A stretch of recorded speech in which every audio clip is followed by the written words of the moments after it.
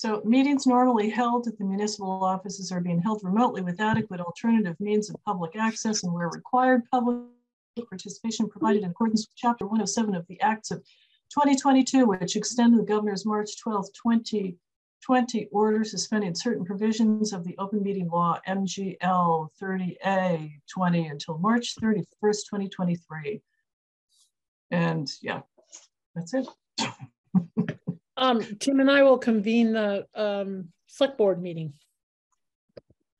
All right.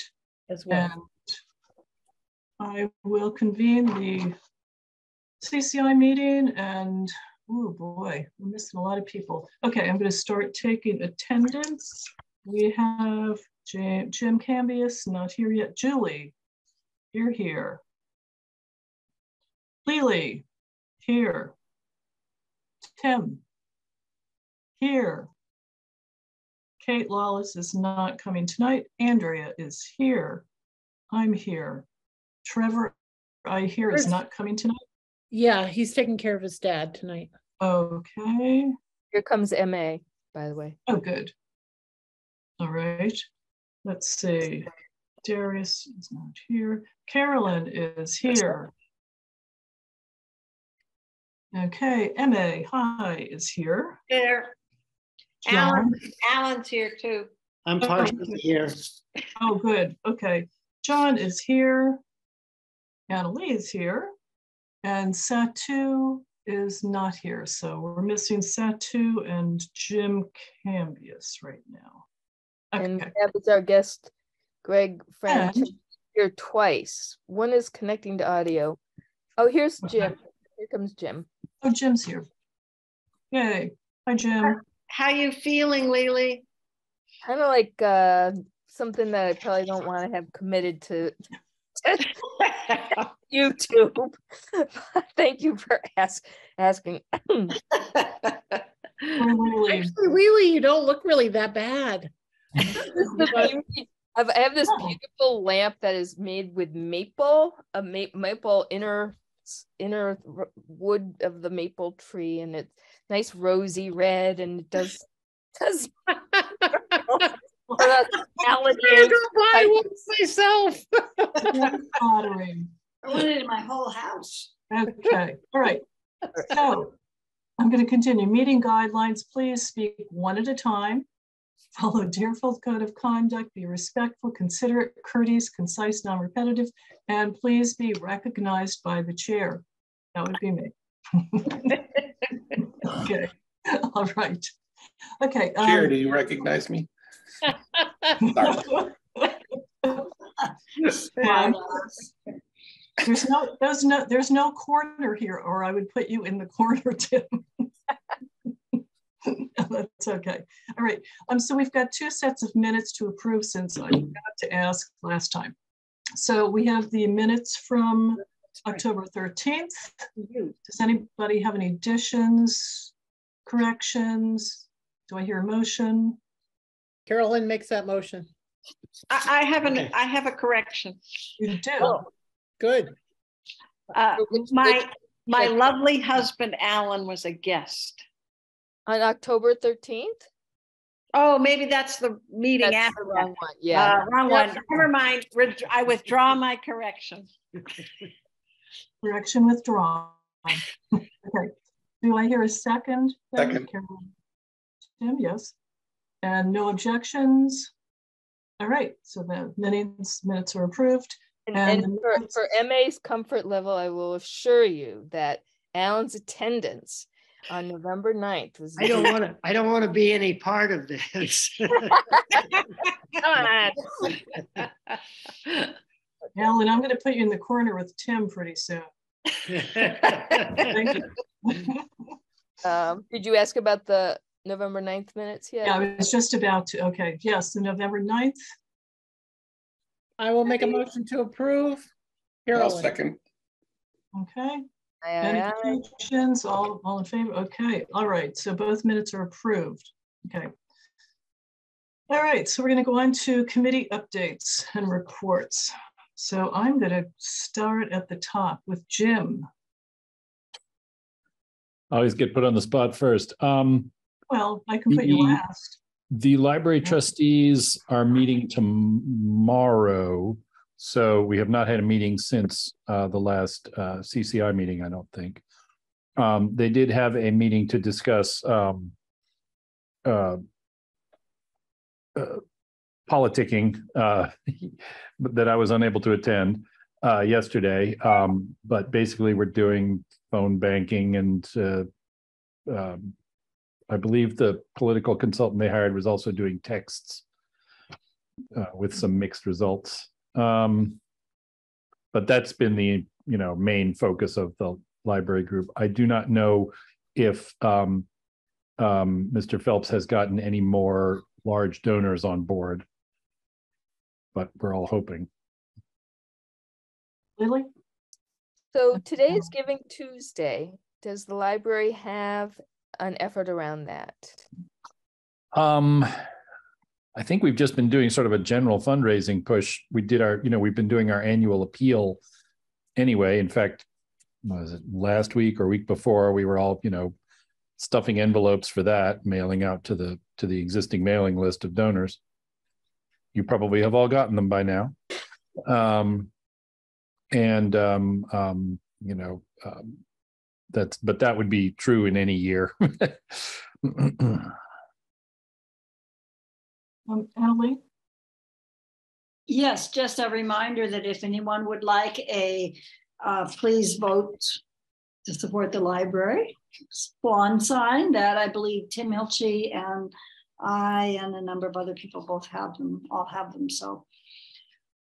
Try to, if you're in favor of the library, please uh, ask for as many signs as you can distribute. All right, thanks, Annalee. Andrea? I have a question about whether or not um, DA has been approached for a sizable donation given their recent largesse. Um, I'm not privy to that, I'm afraid. You know, that's, that's being handled by some, by, we have a professional fundraiser. And I have not heard of any large donations from Deerfield Academy. Um, I don't know that they're playing any major role in this. When um, there was a town gown gathering and Denise and I spoke to the headmaster who had no idea what was going on with the library. I will pass that along. He said, what, what's the problem? And we just paused and said, money. I will pass, thank you, I will pass that along. I asked him if he knew what was going on in the town, and then Andrea and I proceeded to let him know what was going on in the town. And he just seemed totally engaged. Not really. Um, little, little sarcasm there. Julie, Yeah, Jim, I just have a comment. I mean, so the professional fundraiser, I would sort of certainly hope that that would filter down to the trustees so that you could then in turn report to CCI. Y- Yes, but the trouble is, as I said, our, our monthly meeting is um, uh, next week, I think. Yeah, I, oh, yeah, I know. I, sorry, sorry. I don't want to put you on the spot, but I mean, you know, we're sort of getting down to, you know, like, Right, our next meeting is, Next week. is is December seventh. Um, okay, that's the day after the vote. Okay. All right. Julie's hands up. Oh, I'm sorry, Julie? Is there any news on the request for funding from the state for the twelve libraries? No new developments that I'm aware of. I think that would have been announced, I think, I think I would have been informed if that had. been Well, even if it hasn't come through, but if there's, is there any legislation written? Is there any progress or anything? Anybody So, know? Tim, I believe you were uh, in the loop on this as well, that there has been some legislative language, but I don't know if any votes have been taken, have been taken on that. um, well, John, you put your hand up, you, as if you might have something to say, so. Right, I'll go John after you. Tim. Well, I was just going to speak about Deerfield Academy. It would have been the previous administration that committed to a sizable donation to Deerfield, uh, to the Tilton Library. So we would want to follow up with the previous administration to see what they committed to and make sure that holds true to the current administration. So I know Keith Finan was approached and uh, what was committed to, I was Usually I'm in the midst of a lot of conversations with DA. I was not in the middle of that one. Okay, so from what I currently know about where the requests for fund from the state or ARPA is, is that they did their supplemental budget. They used about um, a portion of the two point whatever billion dollars of ARPA funds that were there. Are 1.75 billion left. This will go into the new session. Um, there, so we haven't had, I haven't had any conversations with Joe or Natalie since the election about where that stands. Um, I'm in the process of pulling together a letter for the select board to review, uh, directed at Governor-elect Healey and Lieutenant Governor-elect Driscoll. And uh, so that's all I can say the moment. Um, as, as Jim said, there was legislation written or drafts of legislation, but I don't think it it got included in the supplemental budget. And, uh, and I think um, John sent us uh, a, a link to what had been awarded out in Western Massachusetts, and there wasn't a lot. Right. Okay. Carolyn? Um, I just want to follow up with Tim. The, the draft legislation is for the informal session in January. So there would be no action on it until January because the the economic right. bill went through that used the ARPA funding was the libraries were not included. But that was because we were told that the that would be separate legislation. Um, the last I heard, it was um, what was it, 400 and something thousand for us in the library, Tim? It was very I don't know, it was 430,000. I don't know. That was just early on in the process, and it was one of several different things that had been written by the Senate and the House. Yeah, it was very disappointing.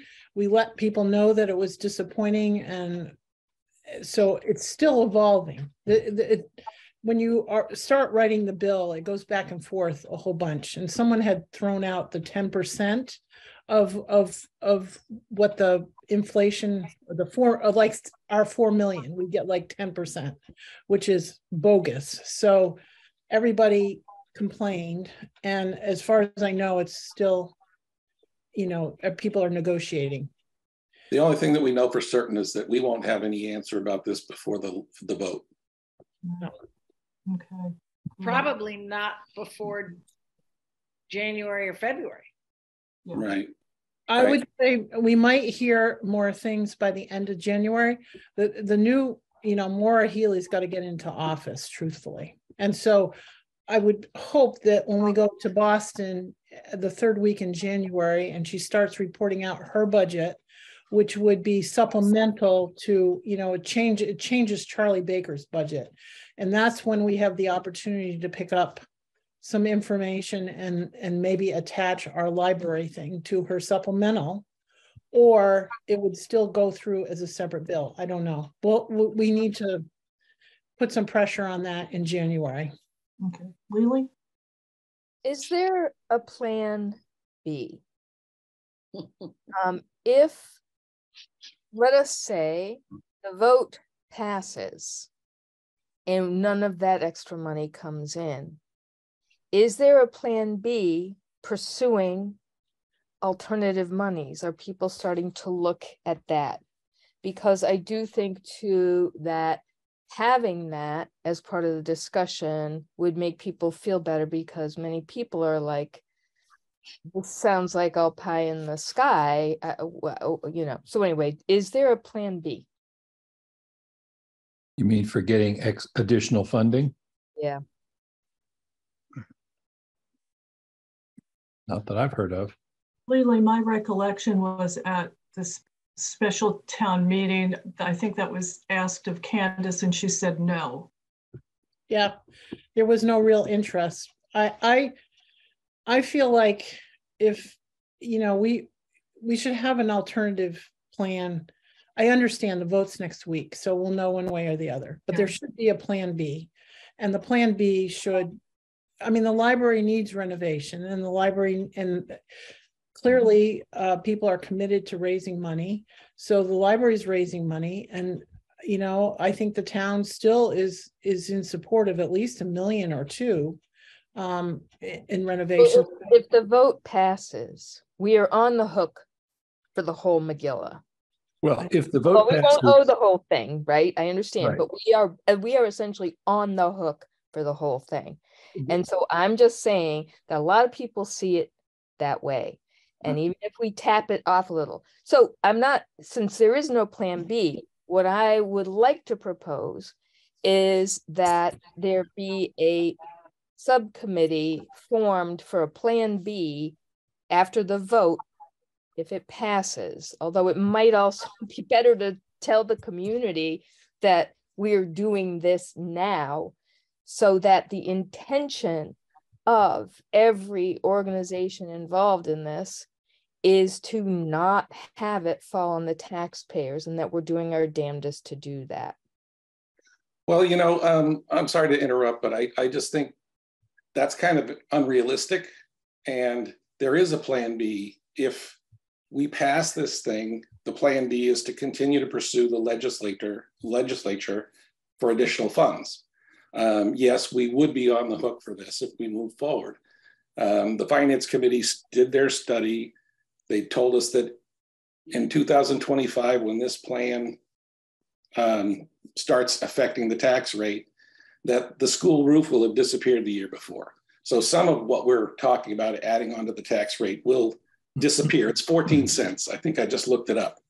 So if it's 42 cents or, or 52 cents in, in a good case scenario, 14 cents of that will disappear. Eight years later, the DPW will disappear. In the meantime, we just approved New Pro. So at some point, that tax revenue is going to come ramping in. Sunny Days, which is the ca- cannabis place, which seems to have a real chance of actually getting built, will come mm-hmm. online. Treehouse is ramping up sales, so our revenue from, uh, you know, money, uh, the food and meals tax from Treehouse will start kicking in. So yes, uh, you know, we would be on the hook for it. But the finance committee said, look, this is something that we can afford. So um, unfortunately, what's happening in the social media is there's a lot of misinformation. People are saying 12.3 million we're going to be spending. Um, but it's really a case of one group of people who wants one thing is willing to do whatever they can to stop it so that they can p- perhaps get something that they've got no money from the, the government for. So it's it's unfortunate.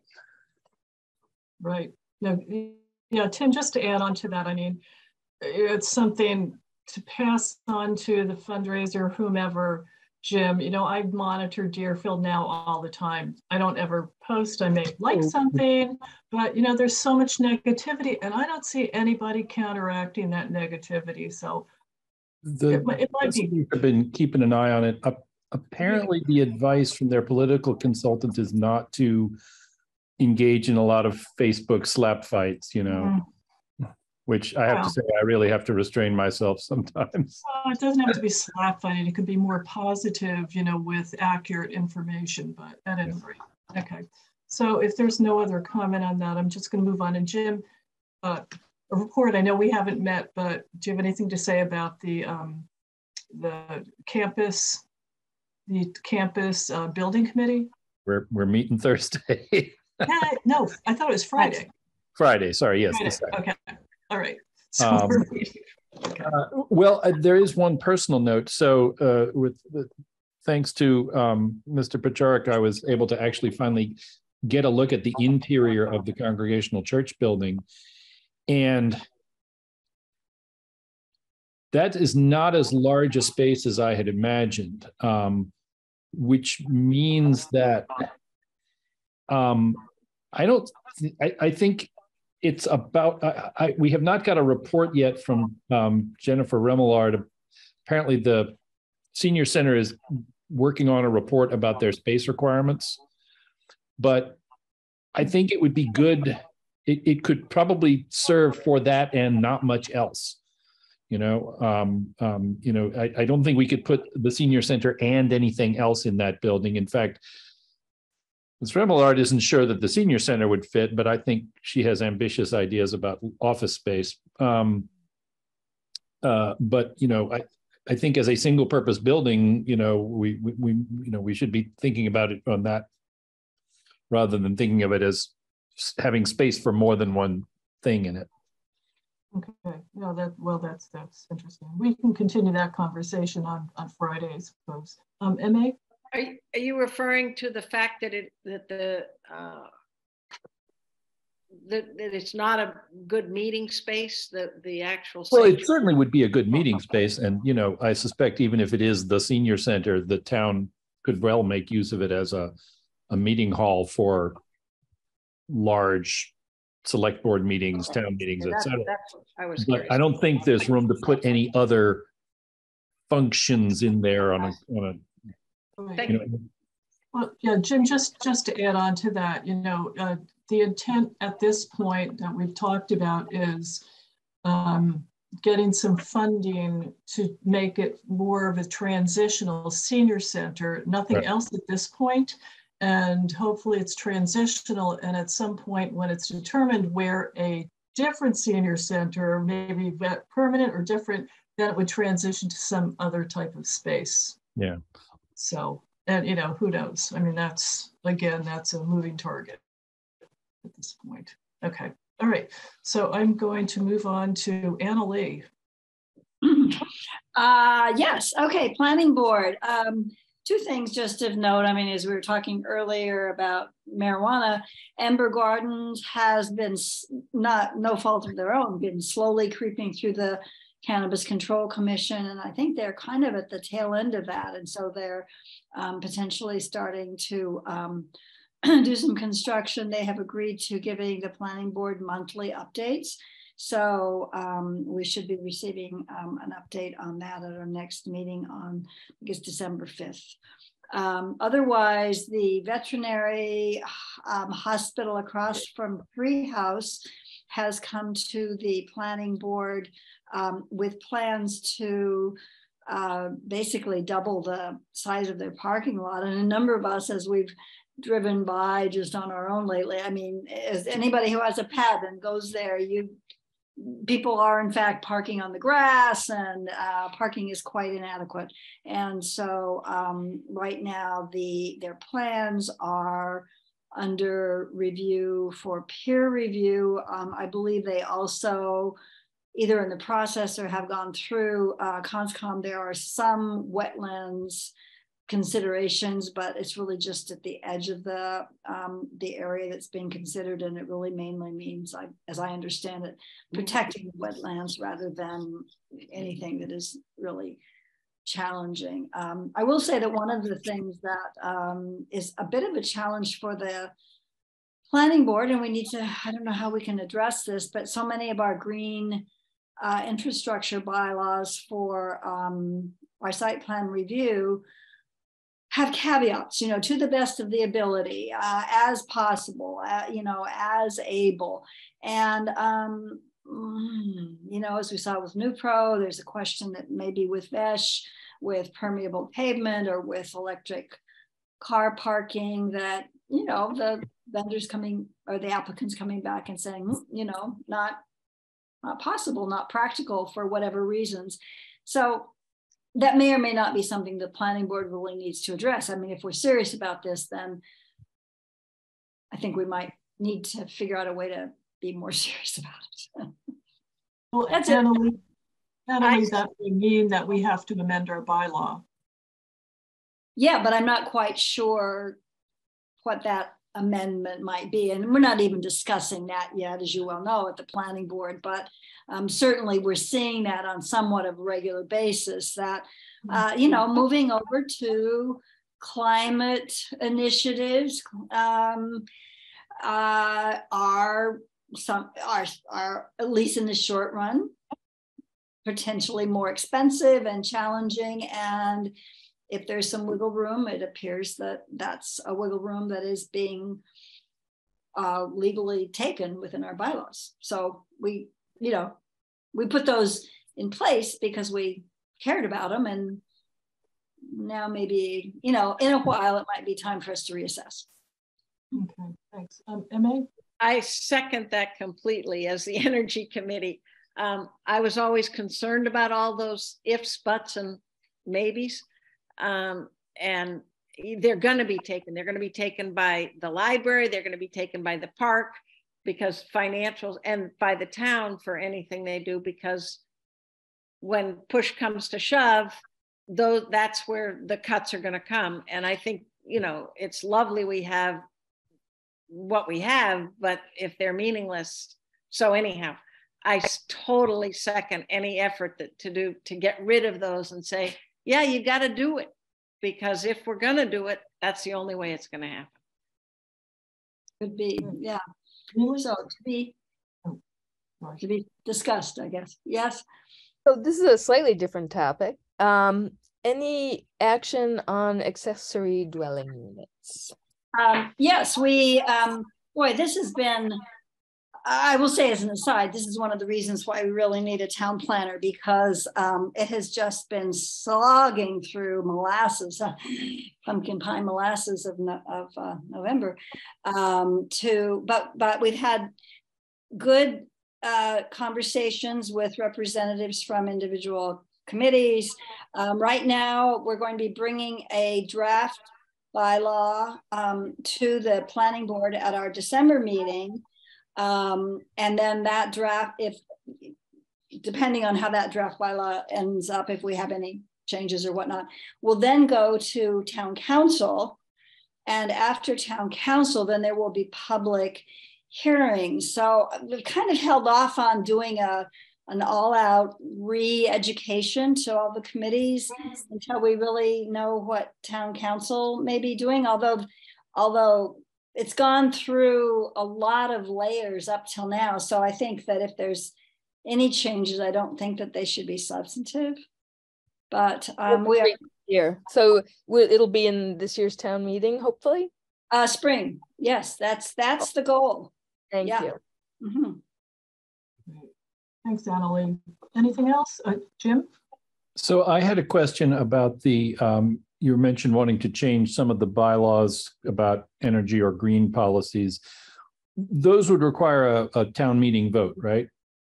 Yes, but this is so preliminary. I mean, we haven't even discussed it at this at the planning board level, but it certainly is a pattern that I and others are seeing and realizing that, you know, we don't have a lot of enforcement teeth. Mm-hmm. Okay.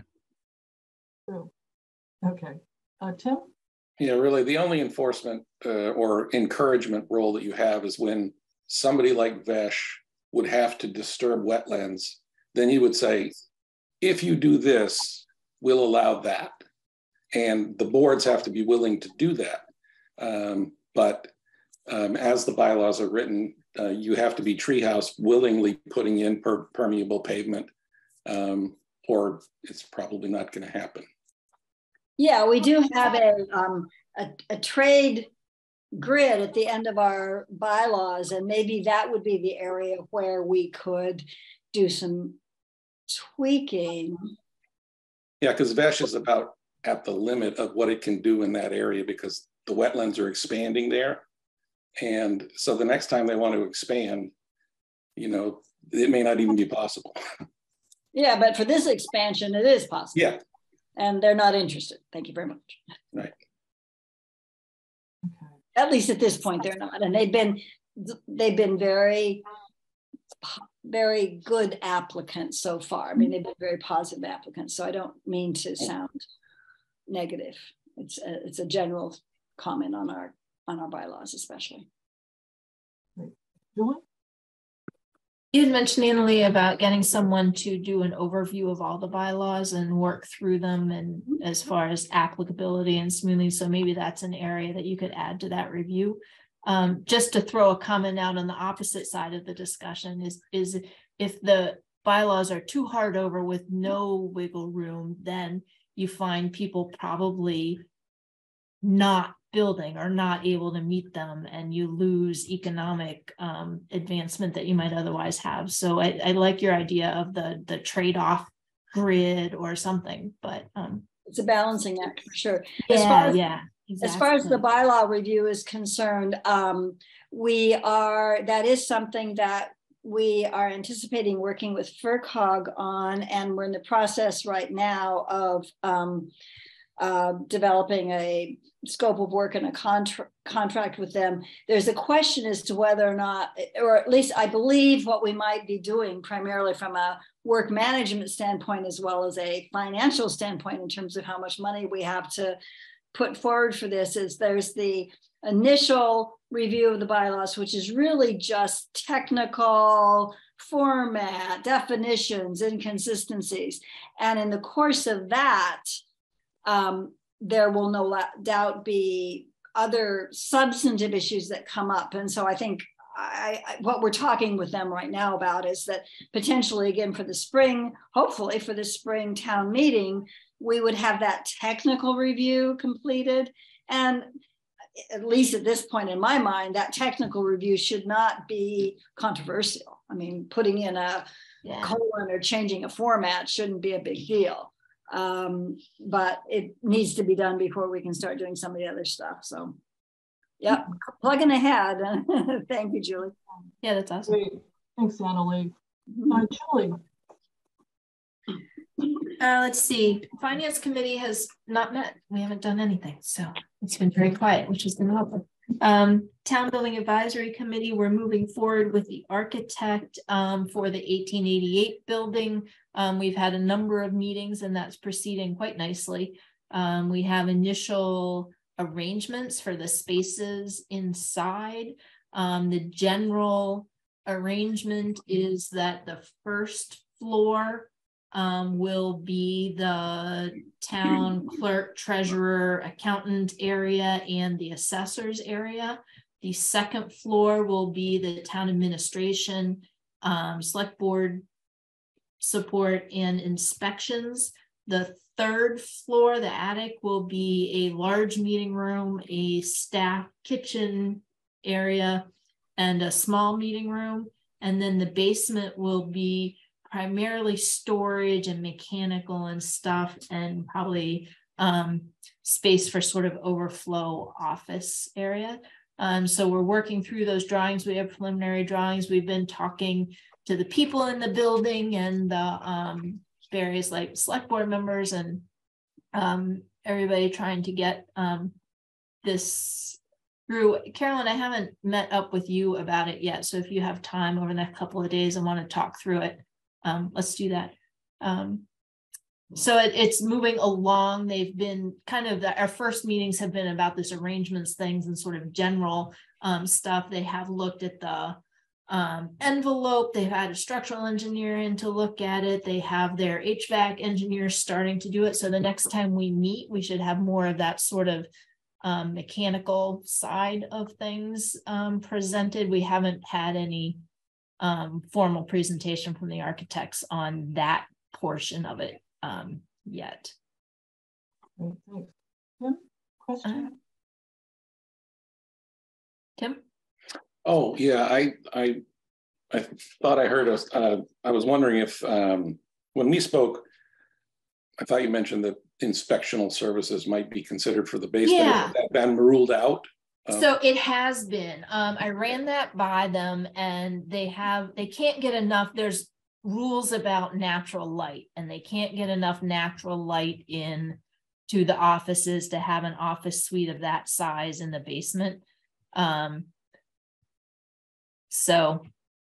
Okay.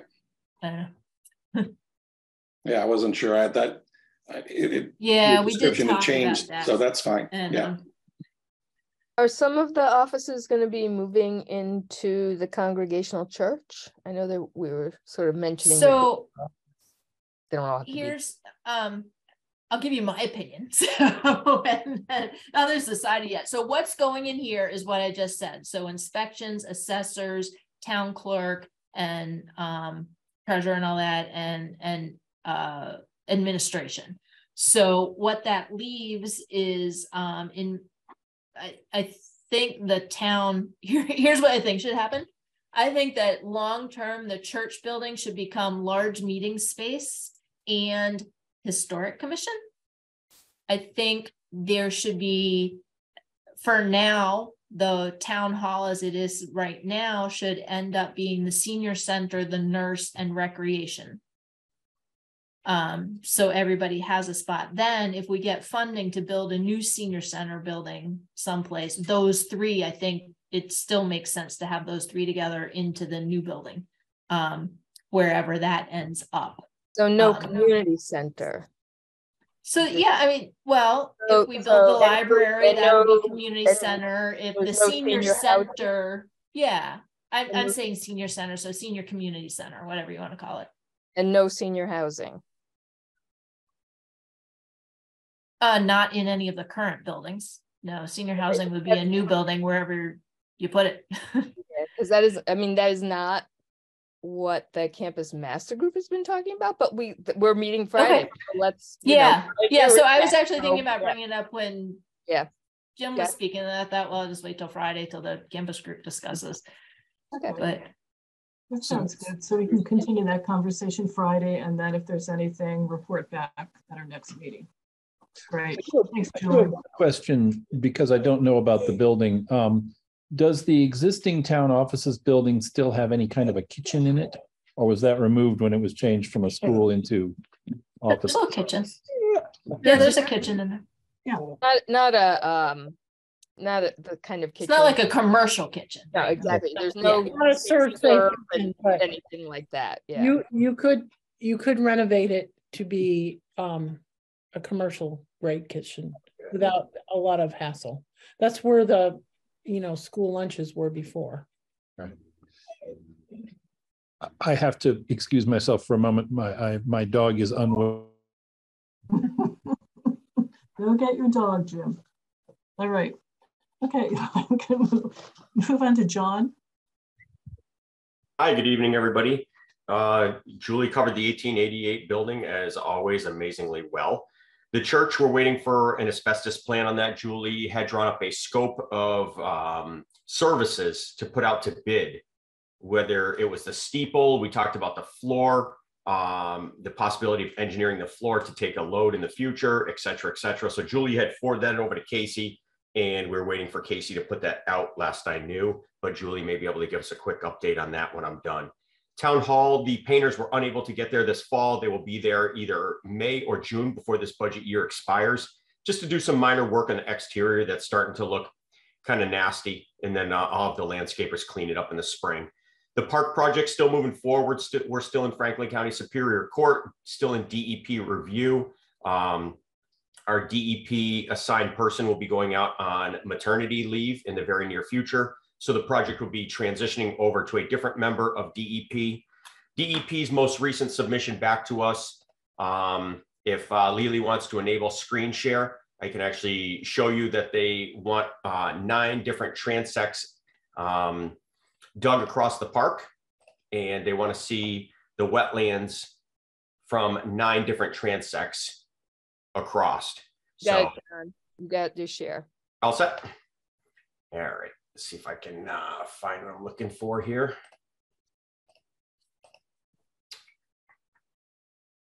Good.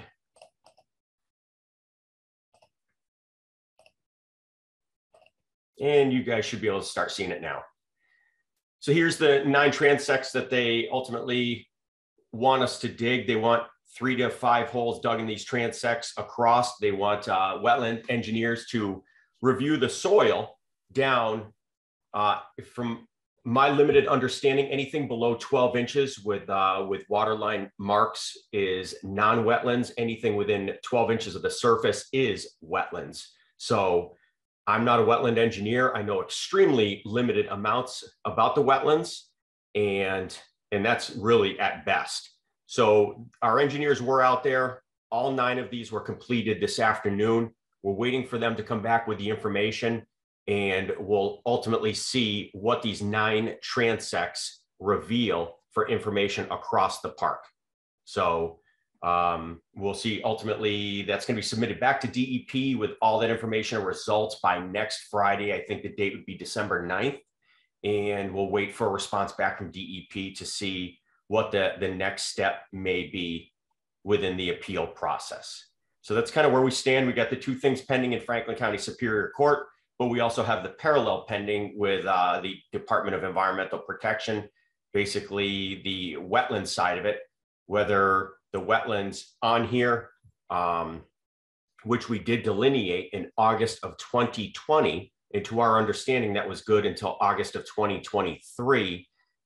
DEP is saying that even though our Conservation Commission legally delineated those and the information went over to DEP with the legal delineation, it was never appealed, that they are operating under a side parallel law on behalf of the US Army Corps of Engineers asking for additional wetland delineation marks, which our engineers have never heard of before. So this is kind of new ground for us, and uh, we're just working through the process the best we can, and uh, we'll see how it shakes out. And Tim, Tim, if I missed anything, feel free to jump in. No. Um, Okay. Could, could the Corps of Engineers be involved because of the proximity of the river? um, it, it, it's uh, to my understanding, the the core constantly changes. One year, it treats certain types of land one way, and the next year it changes its mind. And so um, there is a land, I, I don't know the exact title of it, but there's land underwater something, something that, which is another layer in this, and that's part of the Corps of Engineers. So that's, that's the mechanism by which they've asked for the transects to, to see, uh, you know, it, it provides information across a, a, a larger area than, than what was asked uh, by the town. So it's a way to, to get around the fact that there is a, a legally approved delineation to look for more information. Great, thanks, Tim. I can't see uh, everybody with, with the screen up, so does anyone else have any questions? No? Okay. Thanks, John. Anything else exciting going on? I have tons exciting police wise, but that's uh, that's town buildings. Yep. And uh, John, um, I have a question about the church. sure.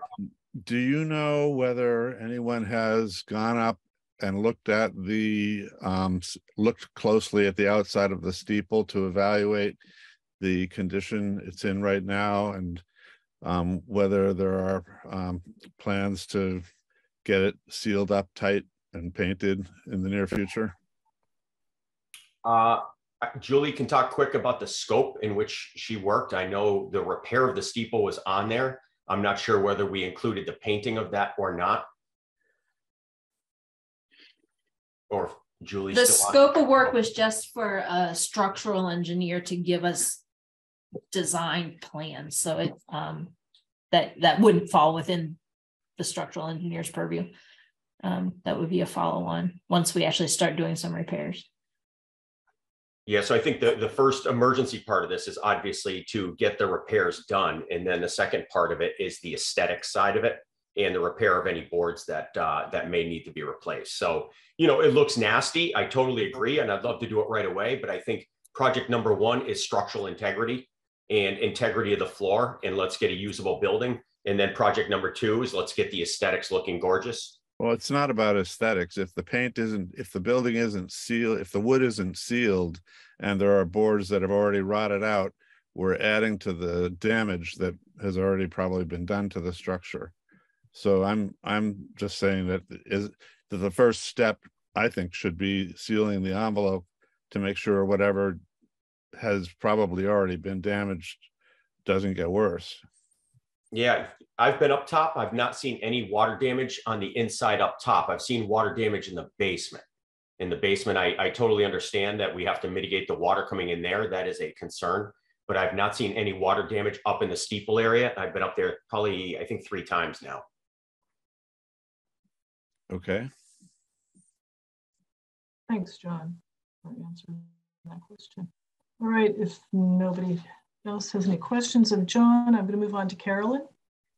Um, yeah, Trevor just uh has no updates on the sewer.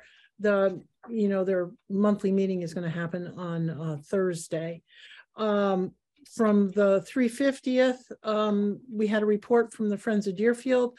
Uh, they're creeping up to 60,000 in donations. So um, they're, um, we're really pleased that they are doing so well now that we're getting closer to the 2023. And there is enough money for the fireworks and the um, a gala for sure. And so everything is moving ahead very well. And tickets for the gala are um, available right now. So if people want to um, buy some, they can. Um, our for the MVP program, our soil health um, uh, plan, action plan, was um, believe it or not, won a, a nationwide award.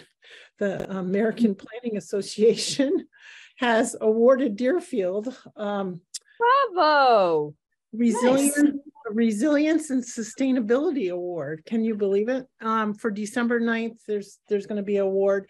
We're going to have a selectman's presentation uh, December 14th. And I'm really excited uh, about that because it, just like we were the first MVP certified in the state where we have the first soil um, profile in the state as well. So that hopefully uh, we've been working on the task force for the state action plan. So hopefully that is going to be approved before Christmas. And also funding for the Franklin Conservation District to fund our yard by yard um, program. Um, hopefully will be announced before Christmas as well. Um, that's very exciting. As part of our, remember from the climate forum, as you know, everybody has had mental health issues from COVID and, you know, climate change especially is impacting um, kids. So what we're trying to do is focus on people's yards and what they can do in their yards to be more climate change. So between the conservation district, hopefully having Owen Worm, Wormser be able to do um, a couple meetings and some books and consulting and buying plants so people can get stuff done. We'll have a lot of excitement this winter. So that's moving forward. That's great. Thanks, Carolyn. Yeah. Oh, well, I'm pretty excited. Yeah. It's, it's not a huge amount of money. It's only 45,000, but it's it will have some impact and I hopefully. Yeah, I mean, I gotta think when when you you're when the select board is having these meetings with our representatives and stuff. Come on, we're winning nationwide awards for crying out loud. Maura Healey, you need to know this.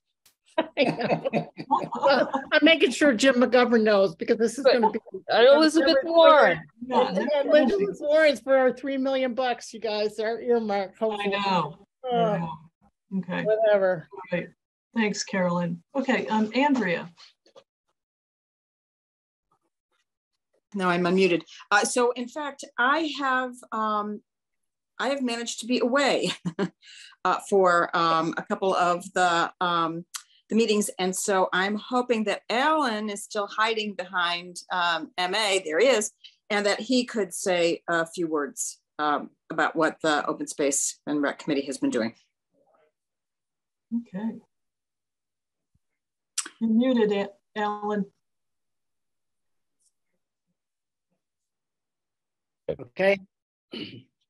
Uh, yeah, just very quickly, uh, we have uh, just a couple of things. we um, have a draft now that is nearly complete for the open space plan and uh, the open space master plan. And that's been coming together very well with our FRCOG uh, advisor, Allison Gage. Uh, we expect to be able to complete that at the end of this year so that uh, we'll uh, fulfill the uh, sort of terms of the support that we had from FRCOG. And um, um, we're going to have a public forum on December 13th, and there are some flyers around. We're going to try to get them distributed a little bit. I think they're coming out um, also to email to a lot of the boards and committees in town. So that public forum will be just for people to come and uh, it'll be Zoom, it'll be a question and answer and a presentation by Allison Gage.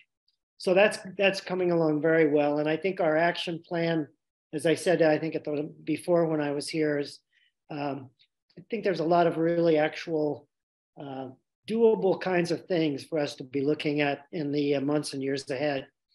Um, and then I think uh, I, pretty much everyone probably here tonight is aware of this uh, uh, proposal from George Taloumsis and the uh, Greenfield Open Space plan to look at this problem that is pretty well known about the access for bikeway through south of part of Greenfield and on into Deerfield. And um, I'm hoping we'll uh, kind of support his, endorse his uh, proposal with them. And I think the kind of money for the feasibility study they're looking at is something that could be entertained if there's um, people I know.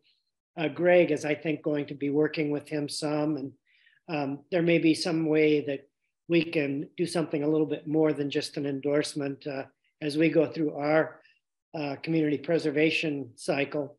But um, I, I think it's a huge challenge and, and uh, everybody knows who goes up and down five and 10 for that section. It's very narrow and it's complex about how we could accomplish something, but it's really worth looking at. And even um, possibly the ability to do some more connectivity with walking trails that are up in that area of town and connect over on into Greenfield as well. But that's all to be seen. But I think it's a good and worthy thing for us to pay some attention to. Right, hey, Alan, so I, I do have a question, and I, I completely agree because I do bike that stretch and I don't really like it. that's that's it's the worst not, stretch. It's not um, comfortable. Okay, so I mean, when we last spoke, it was my understanding that that George has to submit this November 30th by 5 p.m. I is think that, that is correct. Yeah. Okay. I was also under the, the understanding that he wanted a letter from the select board to submit.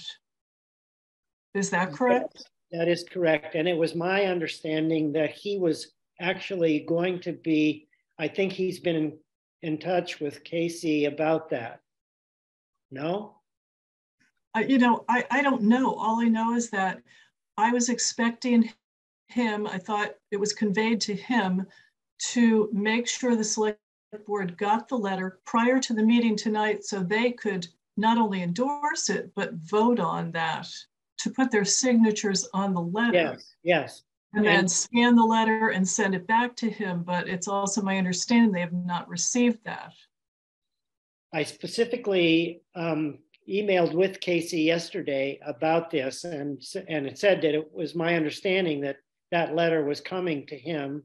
I mean, coming to her uh, from George, and that uh, hopefully it would be available for for the meeting tomorrow. Well, I would, I, I think we've been talking about it by quite a bit. So I would make the motion that the select board endorse this letter. Once we read it, we could read it, you know, by tomorrow and sign it. Um, Tim, do you have, would you be? Um, no, I'm, I'm fine with that um, as well. We'd have to go into the office in the morning and read it and sign it and yeah. do all that stuff because it needs to be sent by five o'clock tomorrow night. Yeah. Yeah. So I'm happy to do that. So.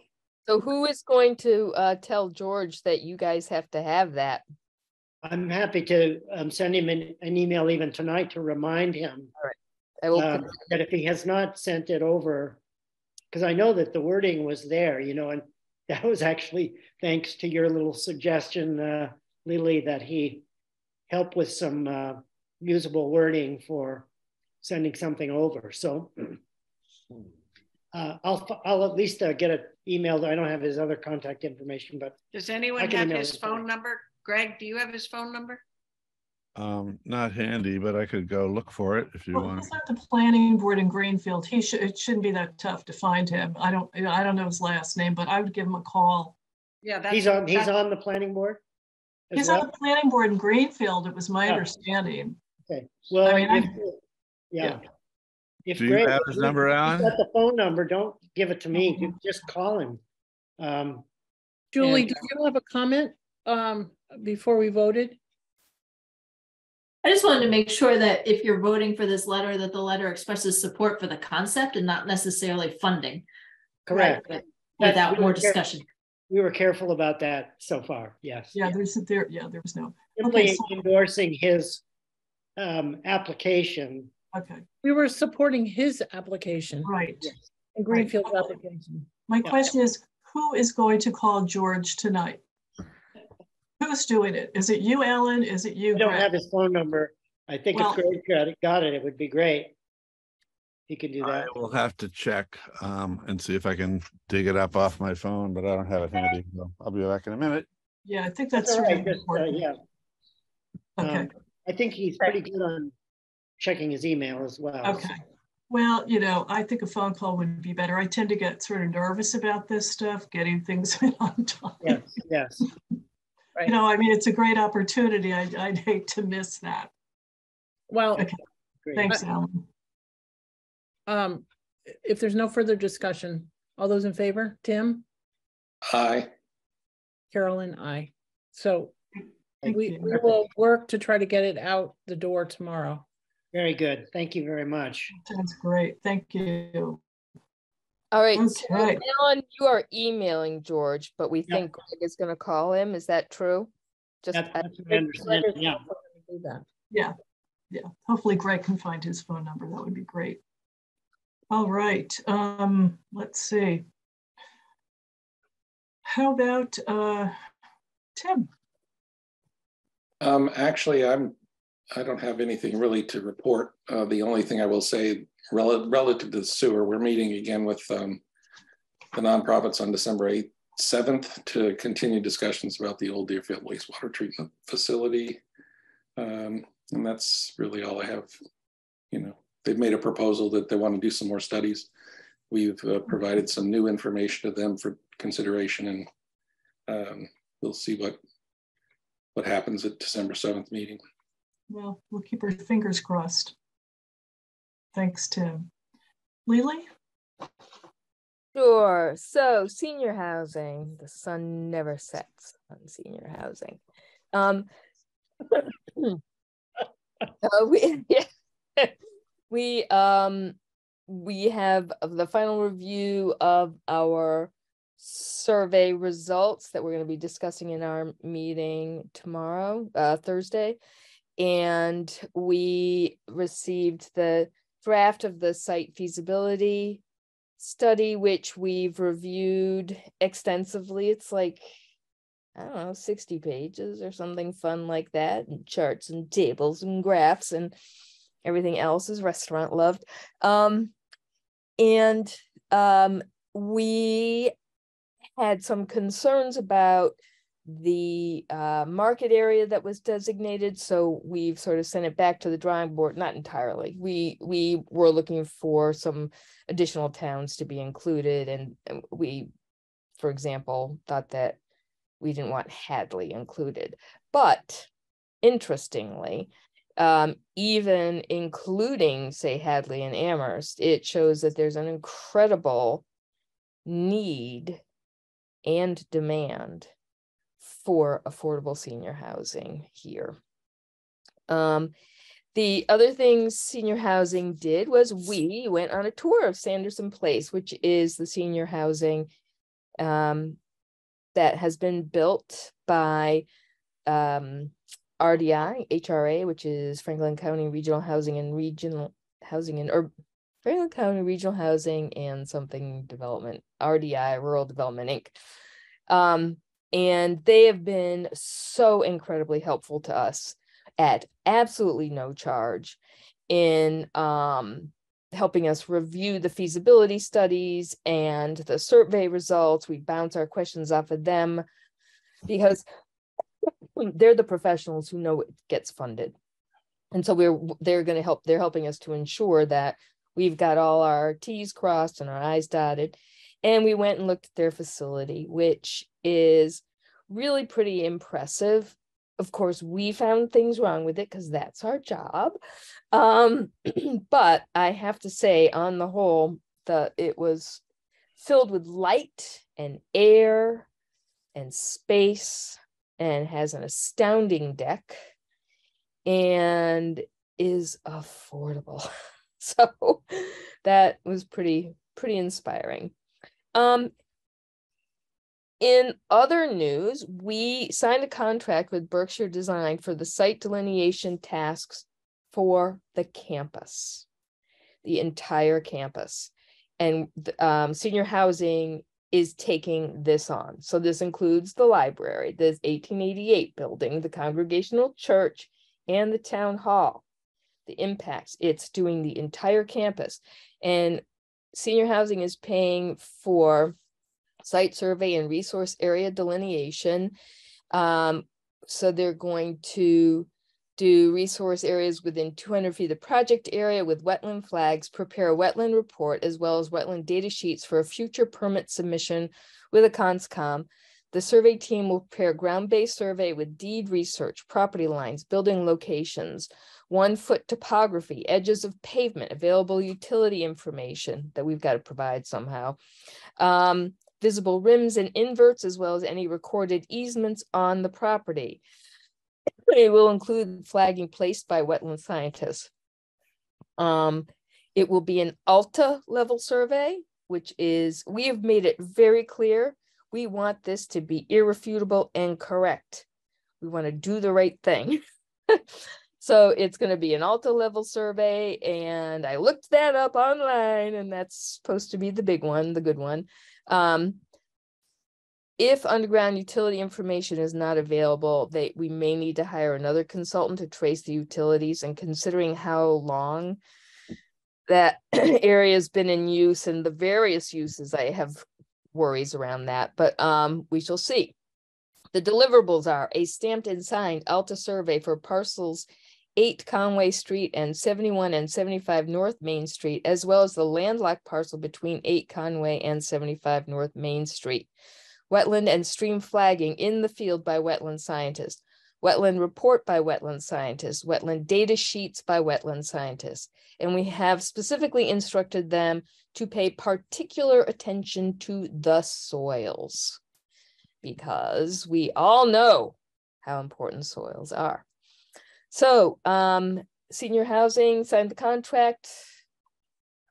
Uh, I'm sorry, I have COVID brain was it last week or the week before? Um, the week before. Okay, so the concept is that they're out there, and they wanted to do it before the ground froze, and then they will be working on the report.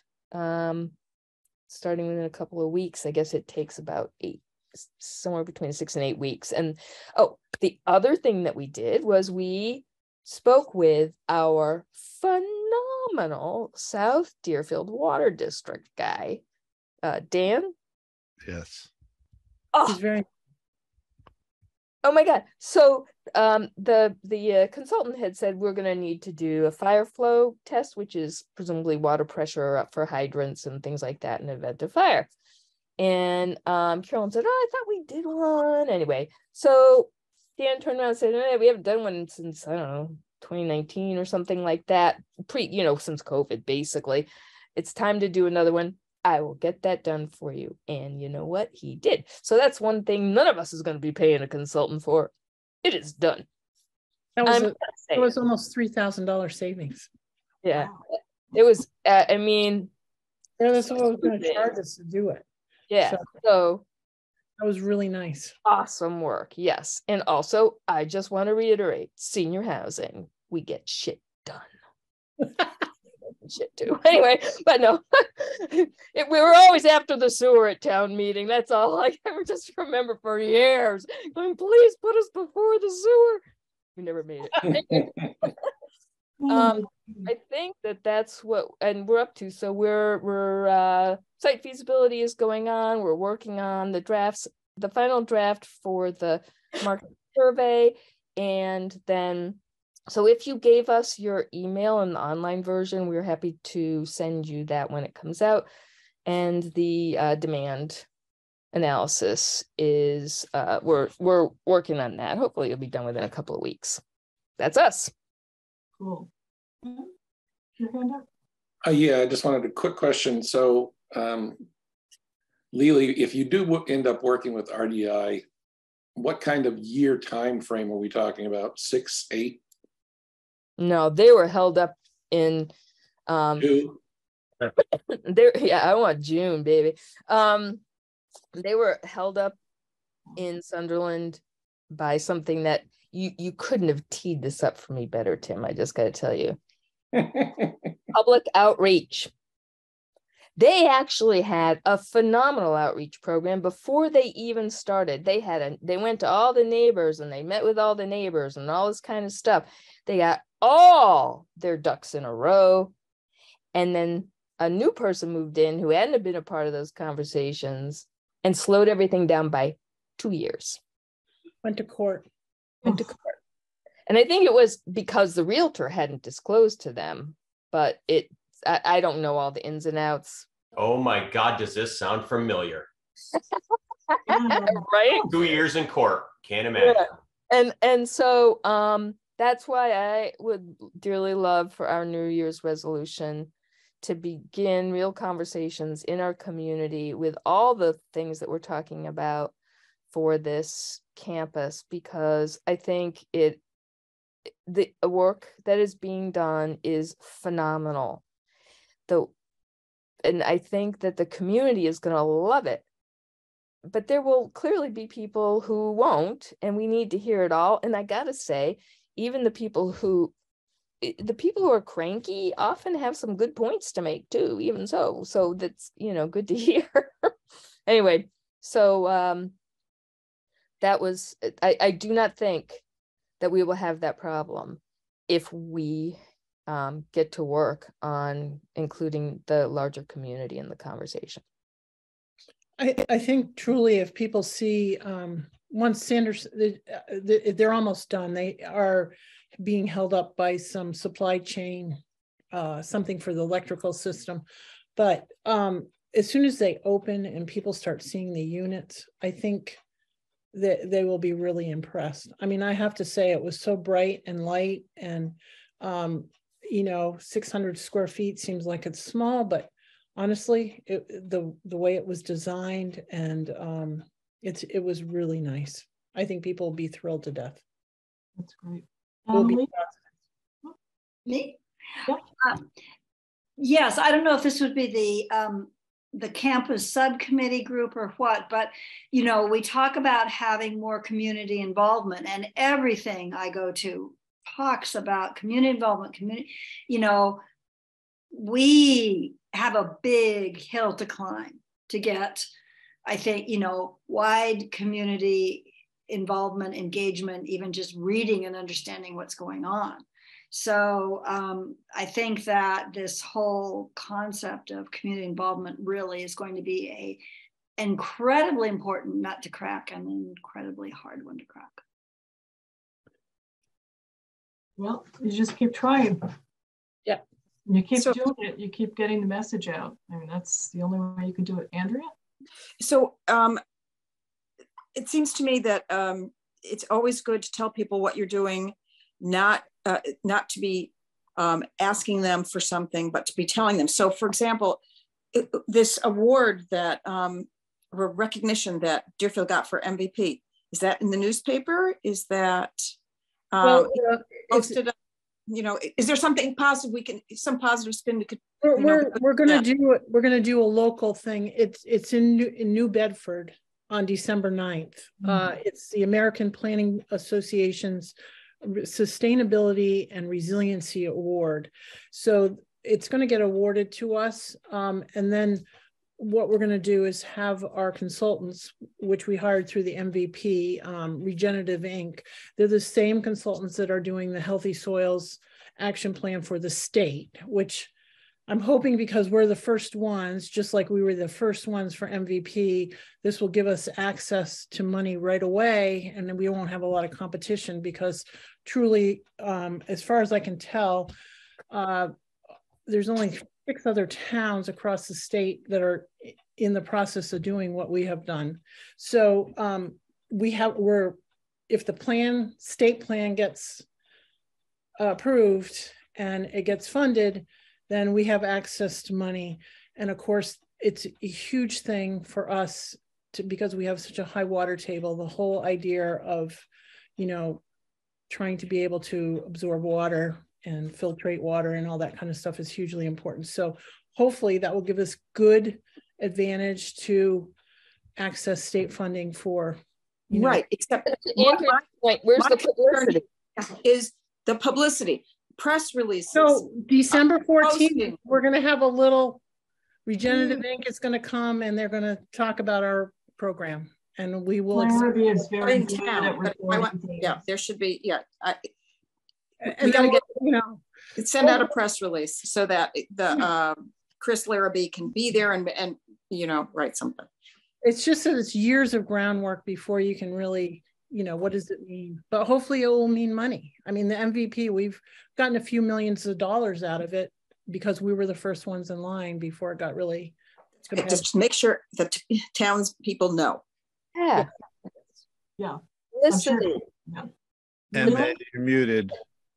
What can I go back to my report though? I'm not quite finished I'm I'm supposed to also that's senior housing, but um Alan's here and he is the chair of the community preservation committee, but um but I guess I'm speaking for them unless Alan wants to speak. Anyway, I just wanted to say that the I'm happy to have you speak. Okay. Hmm. Okay, um, so the, the CPC met about the bike thing, which Alan has already discussed. The, um, we're meeting to review the application, um, meeting this week or next week, I guess, um, to get the application as an online submission instead of ten hard copies to be delivered to the ether somewhere in town hall. So that's what we're doing with the CPC. And I do have a, a, a final report as your elector under the will of Oliver Smith. I would like to tell you all, I don't usually talk to you with wearing this hat, but it occurs to me this, nobody ever knows what this thing does, so why not? Um, the elector under the will of Oliver Smith is only allowed to make its money in mortgages, not allowed to invest in the stock market. And so um, the new trustees, of which I am one, we have decided that we are going to remain always slightly under the mortgage rate. So I'm telling you all, get out there. And then last week, under pressure from yours truly, we voted to reduce the requirements to apply from a 30% to 20%. You still have to have an excellent credit rating because I'm really concerned that only the well to do people are able to take advantage of this. I will tell you that the interest that you pay on your mortgage goes to grants. And we have doubled the grants to widows, doubled the grants to tradespeople, and we doubled the grants to new brides. So go, out there and get married, everybody. But, but I, I never understood any of this stuff when I was simply an elector. You have to be a trustee to understand what's really going on. And there's so there's a twofer here. It's a it's a mortgage that is um, you don't have to go through all the bank paperwork and stuff like that. You need a good credit report and you need to have 20% down, which is more than 10%, but still you, you get to skip all the the paperwork and the pen every interest that you pay goes into grants. So anyway get your friends out there. If you know someone if you know a kid who is in trade school tell them to apply. They need a um, a letter vowing for their good character okay? If you know somebody going to nursing school if you know a new widow with any young children, John you might be a good resource there. I think they do comb the obituaries, which is kind of grim. But anyway, so if you know anybody, um, and new brides, if somebody you know got married in the town of Deerfield, it's I think brides might be like two hundred dollars, but two hundred dollars is you know one meal these days, but it's a meal anyway, so that's my that's my shtick. Thank you for hearing me out on my elected duty. I will return Thank to you, my Lily. scheduled programming. Yeah, if we can find more affordable housing. Oh, for Julie's people. got a, her hand up. Oh, I'm sorry, Julie. Sorry, I seem to always have a question. For CPC, it's just, maybe this is just a comment. I've been thinking lately that we're getting to the position where you're gonna have competing requests for funding and you're not gonna have enough funds to go around. And that's something that you guys are gonna figure out, but, but I think the library is gonna come. I think the eighteen eighty-eight building is gonna come. I think we're gonna be, um, to the point where it, it becomes challenging. I- I think lanes. Andrea and I are- are well aware of that and, um, Yeah. yeah, but thank you. That, that is definitely going to start to face us. Yeah. Early on, we had, uh, good sort, uh, resources and, um, very few proposals, but that's rapidly changing. So, I think it's actually good because we're finally using the funds for the stuff it's supposed to be used for, so, but Yeah, everything no. has its new challenges, right? all right. Joy. Uh, Greg, do you have a comment? I have a comment. Yes. Um, I do not have George's phone number. I've only communicated him, uh, with him um, through email, but I'll try and get a hold of him or get his number from Lori Busada, who I'm pretty sure has talked to him um, and has his phone number. be Great. Thank you, I, I don't know um, where to go with that, but I do want to say something about the um, path um, of the bike lane proposal and um, what has been said in the past that I don't know if all of you are aware of. But when I first began advocating for bike lanes three or four years ago, um, I first spoke with Kevin Scarborough because I figured he would be the one most impacted by it. And what he said to me was basically, all you need to do, Greg, is get the select board to tell me where they want me to put the stripes. I've got the paint. And sounded simple. It has not been simple at all. Um, I've been on the town common um, committee and the reason I started to advocate for bike lanes was because that was what I was kind of tasked to do by that iteration of the committee. So anyway, after I learned a bunch of things about bike lanes and proposed that the town common committee have bike lanes in these specific places, and I made a little map and everything.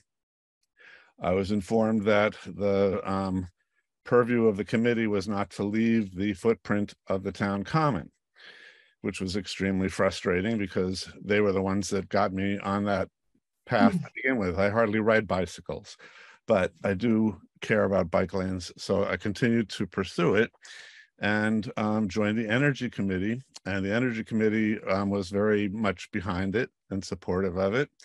And we went to a couple of different meetings of the select board. The first one didn't really lead to much, but the second one was hopeful.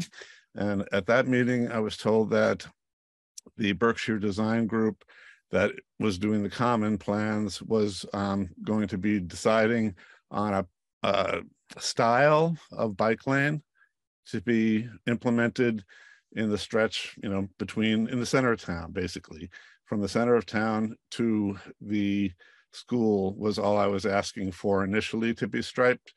And it was a larger proposal that included connecting to other bike lanes in other towns, and it was a much larger proposal.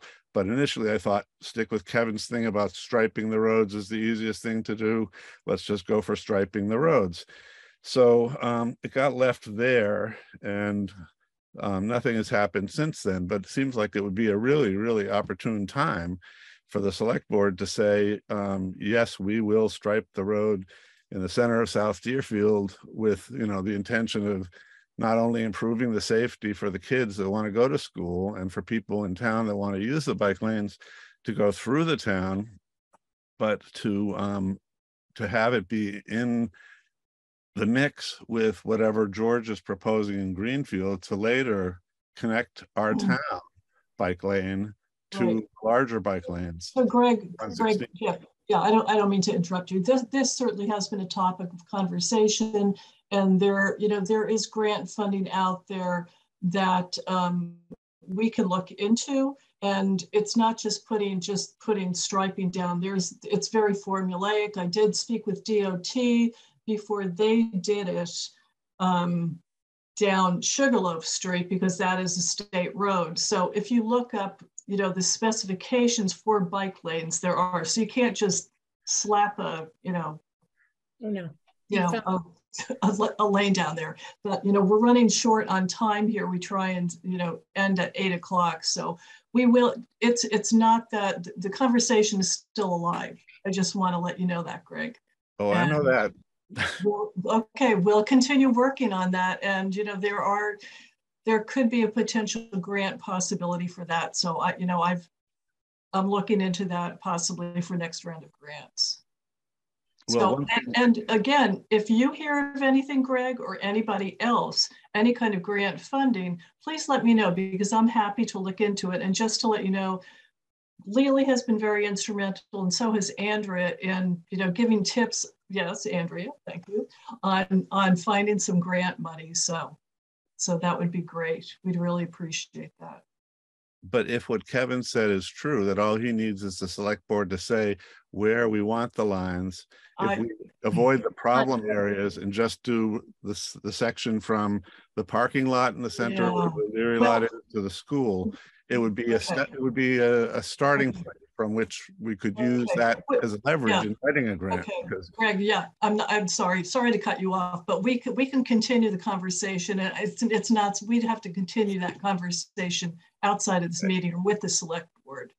Okay, Okay. at another time, but, but thank you. You know, we. We're going to do it, Greg. Don't worry. It's Yeah, just, okay, all right. So um, I'm gonna move on to MA, MA. And um, yeah, with, and we did, I just, you know, just want to reiterate, I did send out, M- MA had a letter and I put that in the body of the reminder, the Energy Committee letter. And that's a conversation I think Julie can also chime in because I think Julie had some comments on that. Did everyone have a chance to read the letter? It's the Energy Committee's recommendation. So MA, go ahead. So uh, the energy, I'm reporting on the energy committee. Um, I, in the- prime, we had conversations uh, primarily about, uh, well, Greg and I both attended the meeting with the eight, 188, the 1888 uh, report that you all had, uh, whatever that was. And I was less than confident about the HVAC. Now, there wasn't a lot of stuff on the HVAC, but it just didn't seem like there was that that they, that and people were talking about sort of a, a system that was going to work with geothermal and everybody talking about the same thing. And so I was concerned about that and that and as was Greg. And so the energy committee talked about hiring some a, a, a, a an energy consultant who really knew about the current uh, efficiencies and climate change and you know all this the sort of new stuff that's going on particularly related to geothermal. So we drafted the letter which you saw and it basically says we are recommending that this that that there's somebody who's talking there's one professional consultant who's talking to all of the people who are talking about HVAC systems in the uh, in in the campus, and it needs to be. I mean, we mentioned Ben Wheel because he's who we know. There are probably others who are good, but it isn't just somebody who works for an architecture firm who may or may not know uh, the current information that's necessary for what we're looking for for uh, net zero buildings. So we're just throwing that out there and you guys can go with it. Okay, you know, I didn't see who, whose hand went up first, but I'm gonna go with Tim and then Carolyn and John. It was John. Okay, John, go ahead. John was first. Uh, just by way of quick background, from my understanding, from just jumping back on a quick old topic, as I just sent four emails back and forth. Uh, the funding for the library was supposed to be drafted by Senator Bruce Tarr from Eastern Mass. I have an email into him and the Mass Chief's um, legislative aide, Dave Shapiro, to his chief counsel that would have drafted the bill to figure out when they're planning on addressing it, how much, when it's going to be submitted, attached to what, to see if we can get some traction behind it. So Dave Shapiro just confirmed with me that he has touched base with his general counsel. And as soon as he hears back, he will send me a response. Oh, John, that's Thank wonderful. you, John. That's terrific. So as soon as I see that, I'll cycle it out through the group. Excellent. Thanks. Okay. Now, Carolyn, Um, I just wanted to know if we had any more um updates on that geothermal grant. I I haven't heard anything lately. okay, so that's why my hand's up, Carolyn. Okay, sorry. Good. I Um, uh, so I actually just was in communication with Allison Gage, FRCOG, who is the point person on this application for us. And um, asking her, uh, there is a deadline in December where um, the DOE is supposed to either get back to us and ask for more information or, um, you know, just notify us that we've made the second round or haven't made the second round. And so I just asked her, have they asked for any new information? And um, so hopefully she'll get back to me and I'll cycle it out to everyone uh, what her response is in this week. Um, also, I think that in addition to Ben Wheel, we should, if if we do actually um, get a grant for the design phase of this, um, that that person should work with whomever Ben Wheel or whomever else to talk with any architects related to any building in the system, 1888, the library if it passes, um, et cetera, and maybe town hall because their systems are terribly outdated and really take up huge amounts of space. We could uh, build, get the historic commission a new office if we could just clear out one of those rooms. Um, so I'll let you know. Great. Yeah.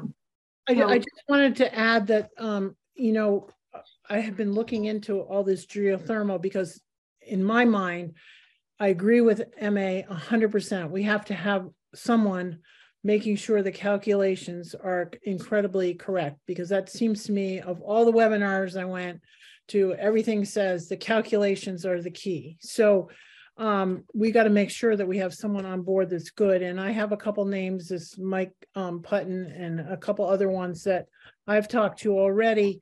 So I think some point in the next month or two, once we find out about the geothermal, we really do need to nail down who is going to be our like uh, representative or someone that's going to help us out to make sure that whatever the consultants are telling us is correct. Right. Okay. Uh, Julie, and then MA, and then Lily. um, I, I think added to that, there's definite advantages to the town to have the same equipment in all of the buildings so that the people who are doing the maintenance know what to do everywhere. Um, so I, I agree with that. Um, just a one point on the, the comments is that the reason that the information at the architects meeting was somewhat hazy was that they haven't gone through and they it, wasn't the time to present that information yet. So that meeting was not there. And the person who is doing the HVAC for them is an H, it's it's an engineer and a mechanical engineer who does HVAC. It's not some architect person. So um, there there is somebody with some skills there, and they we have told them that geothermal is a possibility and that the system that they design will have to be interfaced with with geothermal so we're not i just want to like we're not leaving it out there and letting it be all nebulous and, and incorrect um that's it Thanks, Julie. Back to MA. I, I think I don't really have anything else. I just, I'm concerned that we don't, we want whatever gets put in, that it's the, it's related to timing. And so the library is going to go do something. The geothermal is coming in, 1888 is coming in, and and they're not going to come in at the same time. So we may or may not know about geothermal when the other systems are designed. But then again, we may end up later on doing something with geothermal, and it would be a real shame not to have it all work. So I don't want to wait to find out about geothermal before we decide on what kind of system we're going to be putting into the other buildings. And, and the other point of that letter was even if the geothermal doesn't work, we still want systems. In other words, one of the concerns with was was I think there was talk about uh, using Freon, and Freon is some right, exactly. No, Freon is banned. There was no talk about Freon. Nobody's using Freon. It was glycol, I think, but that was with the geothermal system. Yeah, that's what you put in the tube in the water. That's Right. not. Right, but that's, that's very Oh. different, that there's, I think uh, there was mentioned Freon. the, the concern Nobody, there's no Freon. Okay, I think it's, there's a modern Freon and that's even about to go out. And so the, the question is when you, whatever you're putting in that system, r- re- that- we don't want it to be, become extinct, you know, a couple of years down the road because it's, it's been put, it's been put out of business. And, and so, uh, I- I just, I don't know enough to be able to say this is a good system or a bad system.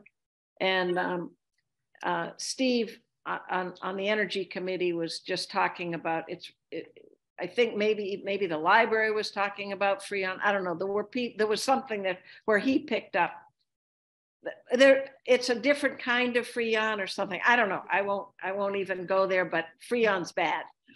Okay, I mean, I don't know, Lily and Jim, and, and just a comment, I think that, you know, any system, we would ask it to be potential compatible with a geothermal system. And that would Right. be one of the requirements. So I'll move on to Lily and then Jim.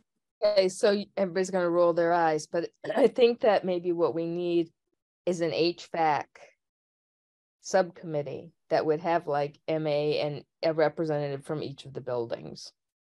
Because that's exactly the kind of reason why we have this organization is to make sure that there, that we are being consistent and um, if you are all together and talking and reviewing, then um, it- just like we have the campus master plan subcommittee, that this might be an HVAC subcommittee with specific expertise, but also knowledge of the buildings. Okay, uh, Jim. So the library architect, I think, is fully cognizant cognizant of a lot of this. I know, for example, he's going for LEED certification, and I assume that that means you know no. No, LEED certification is not, Yeah. but And he, so- he is aware, I, I remember that. Excuse me. Yeah. Okay, well, this is something that, you know, continue to be discussed, and Tim, just a sec, you know, whether an HVAC committee, but, you know, it's certain, I mean, we can sit here and talk about this for the rest of the night. None of us are experts, it's probably futile at this point. Um, but I think, you know, you really need to get an expert, so, um, Tim? Yeah, I was just gonna say, I mean, if, if the, if the voters approve the library project, um, the architects for both the library and the eighteen eighty-eight building will be working roughly in the same time frame, And, and it would be good to just keep them, Dan Pilata is gonna be the OPM for both of those projects. We Mhm. make Dan aware, Dan makes them aware, they're the first, they lead this, and, and if we get the uh, geothermal grant, those people will be in the design phase at the same time as the architects for those buildings, so And, it's actually sort of convenient. and now that my dog has shut up, um, I believe that I, from what I remember discussing with the, the architect for the library was that there was not any major issue with, you know, making the library's HVAC system compatible with geothermal. I mean, as I'm sure Julie could tell us, it's mostly a matter of, you know, what you connect your heat exchanger Yeah, to. exactly. No. Right, Yeah, they're an all electric A matter of system. They're not using fossil fuels and the same deal for eighteen eighty-eight building because the energy committee has done a really good job of letting everybody know that fossil fuels is not something that we want to pursue. Um, so both buildings are doing the, the electrical systems and all of those electrical systems are compatible with both air source and ground source heat pumps. So depending on whether you go geothermal or not, they should, they should both be able to be hooked up to um, the system. So it's not. well, that's great. and I I am certainly not an expert. I am just reporting from conversations in the energy Right. committee. Mhm. Hey, it's a good conversation, MA, so thanks for bringing that up. And I think it's great, you know, just to have, so everyone's on the same page with this. So thank you. Okay, I'm just going to move on. I've got a few things to report and then we've got to set the next meeting. Um, so as far as the efficiency and regionalization grant, we were going for $200,000 and we had a conversation with Sean Cronin, who's, I guess he's sort of the first, the first level that this goes through. And we met with Casey Ellis, the grant writer, and I met with him. He said, unfortunately, I mean, we really pushed hard. He said, because the whole point of this is to do a regionalization, okay? And so since we are already regionalized with the senior center, he said that would be a hard sell. He just, he could not support that but he can support um, feasibility studies. So we, instead of going for 200,000, we'll probably at best get about 75,000 if we get the money. But hey, once again, it's better than nothing.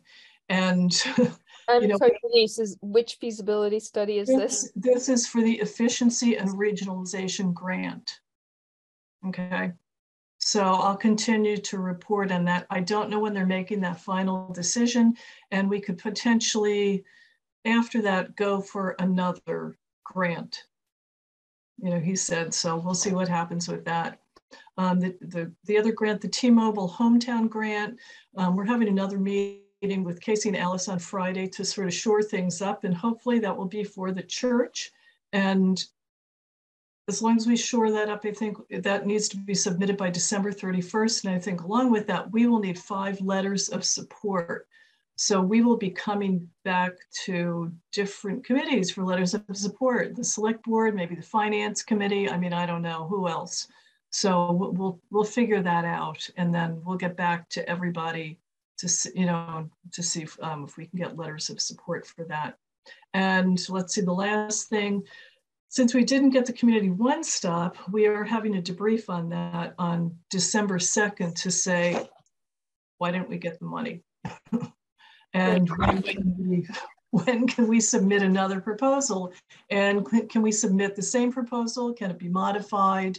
You know, why didn't we get that? Why weren't we, why weren't we in the running for that money? So, which was disappointing, but we'll keep going. So all the work you do. Yes, uh, thanks. Thanks for all the work everybody does. It's it's definitely a group effort, that's for sure. But you know, once again, reminding people if anyone has any, you know, if you hear of any grants or any possibilities, just send them through, and I'm I'm happy to you know do some research to see if we can, you know, if that's feasible to do that. So let's see. Um, is there any other business that we've not discussed that needs to be discussed? And if not, let's set the next meeting. Let's see. What sounds good? I know everyone loves meetings. So definitely makes sense after the library vote. And we're getting into You're thinking about December? Holidays. Yeah, I mean, we could put, I don't know, I mean, is, is the week of December, this, let's see, it's the second, third week in December? Wait, we're, oh my God, this week is the first week in December. December 13th, 14th, no, we can't do 15th. Uh, December 14th. Select board meeting. Select board meeting. December 13th, which is a Tuesday. That's the open space. Open space public hearing. 15th is not going to work. There's a thing happening. Uh, no one wants to meet on a Friday, I'm sure. What about Monday the 12th? Can people do Monday the 12th? That works. Um, the 350th meets at 6:30, um, but that's okay. I could just. I mean, it, it doesn't necessarily have to be a real long meeting. Um, you know, we had a pretty extensive meeting tonight, but um, you know, it would be helpful to have one shortly after the vote on the library to sort of regroup. I agree. Okay, so is that good for everyone? So December 12th? What time? Uh, 6, 6.30, same time? Is, is that good? Um, not great for me, but it seems like it's best for everyone else, so I can make it work. Okay, thanks, Jim. Can we, can we do earlier?